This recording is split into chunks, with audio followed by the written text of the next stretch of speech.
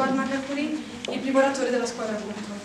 La scuola è un'istituzione di carattere sociale che eh, attraverso una eh, didattica strutturata ed organizzata eh, tende a un'educazione un e insegnamento eh, umano e culturale e quindi oltre ad insegnare in modo più o meno approfondito eh, diverse discipline insegna ad essere persone e a vivere in società ma mi chiedo e ci chiediamo e questo è quello che fa veramente la scuola cioè eh, fornisce veramente gli strumenti necessari per formare eh, dei, dei, cittadini consapevoli, consapevoli oltre che eh, della società in generale, anche di argomenti importanti eh, come eh, quello del cambiamento climatico.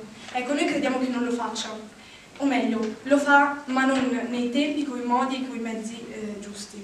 Infatti i ragazzi conoscono le percentuali di emissioni globali, sanno che la Cina è il paese che inquina di più e che in Asia ci sono le città più inquinate del mondo. Però cosa sanno altro? Cos'è eh, che, eh, cosa la scuola ha insegnato loro di concreto che possa veramente aiutare eh, l'ambiente?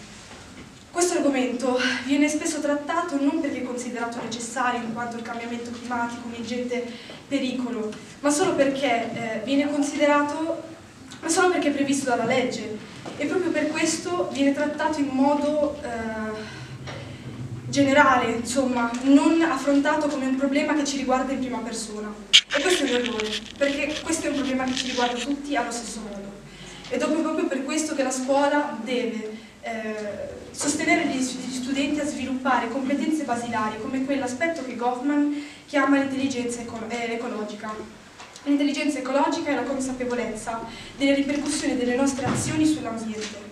In senso ampio, l'intelligenza ecologica è il risveglio delle della consapevolezza del margine di potere individuale e collettivo eh, delle nostre azioni sulla, sulla, sulla società. Ecco, la scuola non fa nulla di tutto questo, anzi non è nemmeno in grado di insegnare agli studenti eh, concetti basilari riguardo alla, al cambiamento climatico e alla sostenibilità. E questo lo sappiamo e possiamo confermarlo perché noi stessi abbiamo condotto una ricerca, un sondaggio tra alcuni studenti del nostro liceo e il 96% di quelli, eh, dei ragazzi intervistati ha risposto che le conoscenze che possiede riguardo al cambiamento climatico le ha acquisite autonomamente attraverso i mass media. E con questo non vogliamo affermare che la scuola non insegna nulla agli studenti, lo fa però non in modo efficace, il suo metodo non è efficace, perché se lo fosse gli studenti si ricorderebbero di quello che insegna.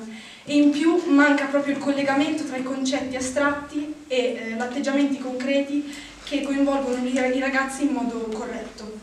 E questo capita perché la scuola è statica, non cambia e, e insegue il cambiamento, ma se vuole essere efficiente la scuola non deve inseguirlo ma deve prevederlo. Grazie.